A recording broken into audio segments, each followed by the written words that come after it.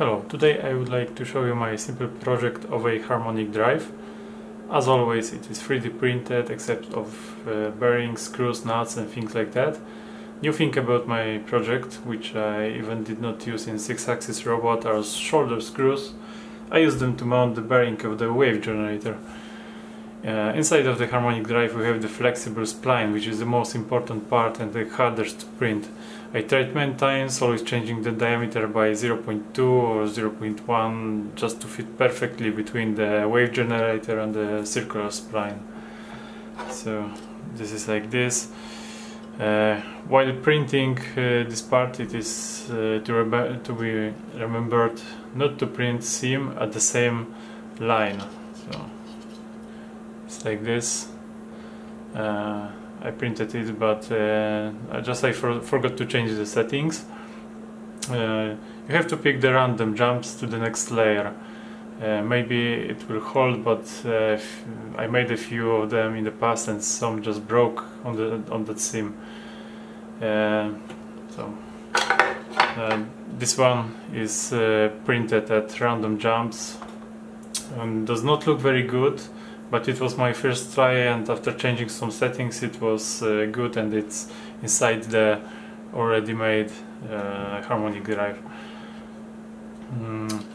I also uh, had to change the thickness of the flexible parts as three lines of 0.5 millimeters nozzle made it too hard to squeeze optimum was 1 millimeter I had to make make it uh, one, uh, 0.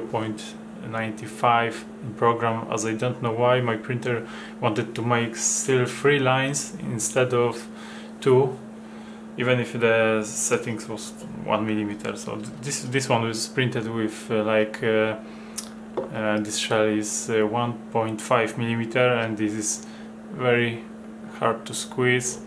Probably it would broke or the motor would not have enough power to turn it the second one which I repaired the random jumps and uh, also repaired this shell. It's one millimeter and I think this is enough. It will take all the torque needed. But the only part I had to change a few times is this like inside the diameter. You know, so this this uh, was uh, changed by a fraction of millimeters like few few times thanks to that, uh, you know, this makes the harmonic drive gearbox uh, with zero black backlash. So now you want to know how it runs, probably. So maybe now the test run.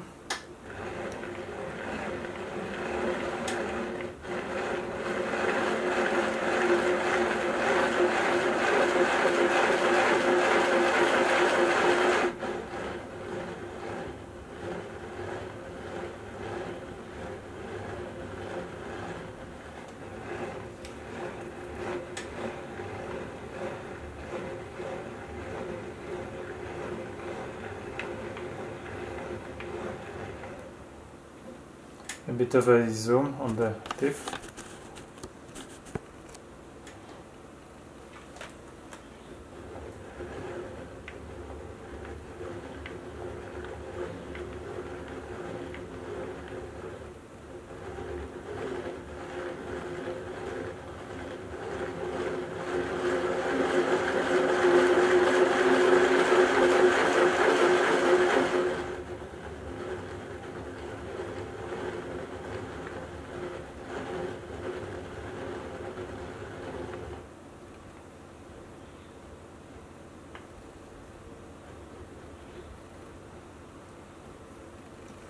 So, as you can see, the teeth are like jumping to the, their next position every half of the full rotation.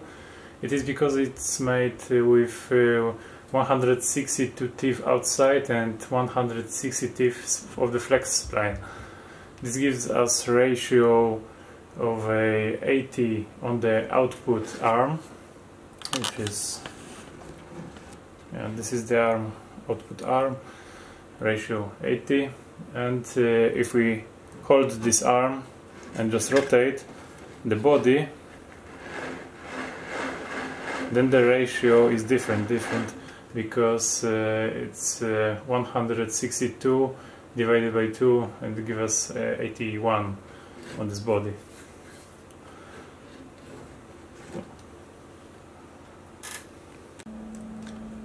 Probably some of you would like to see inside of it, but uh, there's mu not, not much to see. Got to get out.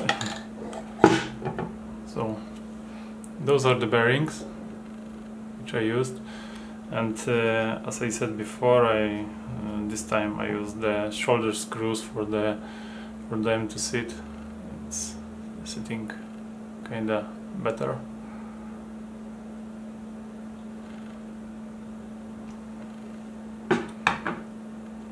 inside of course the flexible spline. Yeah, you don't see the correction of the diameter but it's a little uh, jump over here which I was changing. This the same diameter in here and the jump over here. I had to change it uh, more for a 0.5 millimeters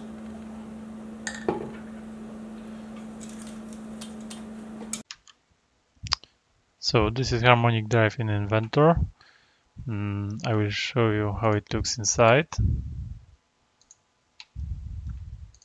At the moment it has uh, handle and 3D printed parts just to move by hand, so for just for tests. Those, those are the bearings inside. Uh, here's connectors, bearings and every, every stuff just for tests. Uh, at the end I will be doing something like that. This is the uh, Leadshine motor. I will just use one connector to those four holes and then I will check if it will hold the torque and it will if it will work properly. So as I said before I had to change this diameter there and this here I don't know don't know why, but uh, if I set one millimeter thick, it prints three lines, and three lines in nozzle one uh, 0.5 millimeters is still 1.5 millimeters. So I had to overgo this and make something like um, so it is 0.95 millimeters. The cutout. And jump here. Just for the second diameter which is uh, important to uh, make the good connection between holding bearings and the outer um, spline So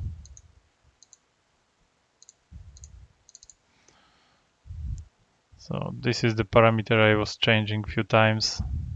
As you see, it's not big difference. As this is module 1 uh, TIFF, it's uh, kind of small. And this is just 0 0.1 or 0 0.2 millimeters going out. And I had to move like through slices to get, get to the right one so few tries in the past. So not very difficult, just few parts. Hold the bearings from the both sides, hold here. Uh, this shape I think I'm going to change because if I go this way it will probably be better but I'm not sure. So I'll be checking that because I made in the past some smaller uh, uh, harmonic drives but when I did this jump it was like uh, not moving uh, perfectly but like more like jumping every step. It was jump jump jump uh, through this one rotation. So I'm not sure if this uh, some kind of angle caused it or maybe it, be, it was because it was very small. The, the, the, like the second harmonic drive I made was the sizes of this motor and this motor is like 56 uh, millimeters diameter. So not not very big but and uh, flex flex shaft uh, flex spline didn't have much space to move so probably it was because of it.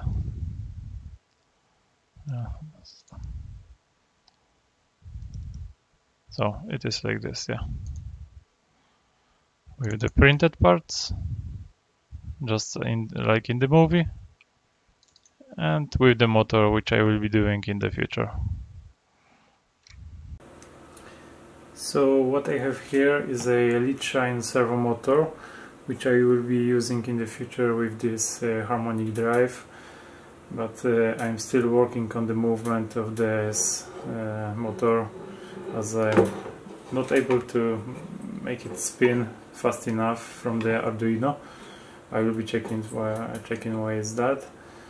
Uh, really great motor better than stepper motors. Probably I will use it in some kind of a six-axis robots in the future um, disadvantage is that it's very expensive also with the driver.